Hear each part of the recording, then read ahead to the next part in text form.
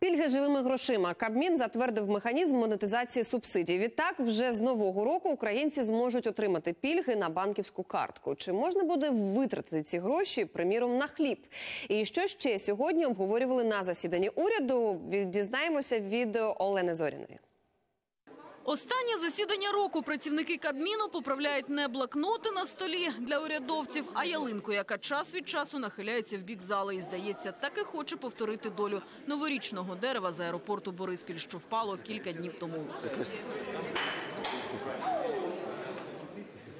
Та небезпеку швидко усувають. Ялинку фіксують до зали, заходять міністри і прем'єр. Розпочинають з підбиття підсумків. Володимир Гройсман констатує, хоч рік був і непростим, але вдалося втримати фінансову стабільність і забезпечити економічне зростання. Чимало завдань уже є на майбутнє. Наше завдання полягає в тому, щоб 19 рік, який буде непростим, ми будемо проходити і політичні вибори президента, парламента, але завдання уряду і моє як прем'єр-міністра забезпечити фінансову стабільність у 2019 році.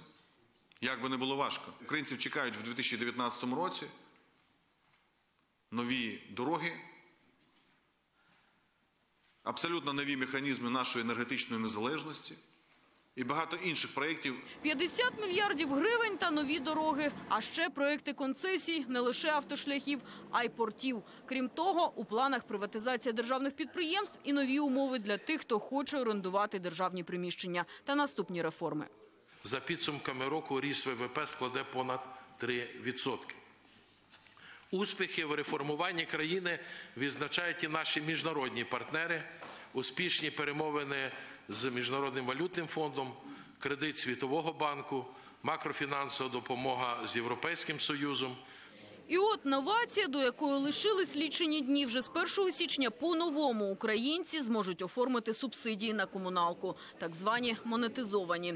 Гроші на пільгу перераховуватимуть на картку. В механізмі задіяний Державний Ощадбанк.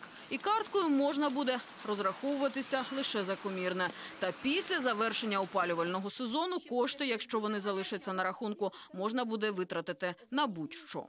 комунальні платежі є достатньо великим тягарем для е, сімейних бюджетів. Що в наших силах? В наших силах захистити тих, хто має невисокі доходи і сплачує за ці а, тарифи. Якщо людина або родина забезпечила економію, то все, що залишиться по результатам е, опалювального сезону, на вашому рахунку це ваші гроші, які будуть монетизовані і вам віддані.